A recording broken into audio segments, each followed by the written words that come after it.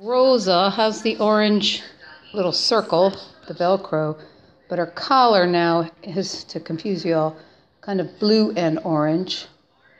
I had a little malfunction with that orange collar this morning, and I started to panic that it was choking her, so I cut it off because it just was getting too scared. So, anyway, I got, see, I'm trying to give you a close up.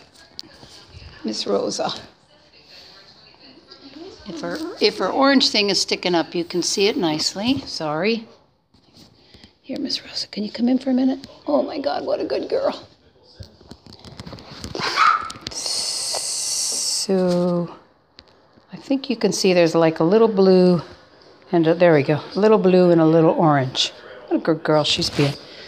And then the orange kind of sticks out.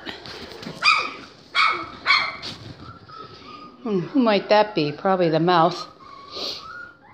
Nobody's going to want you, Maya, because you talk too much.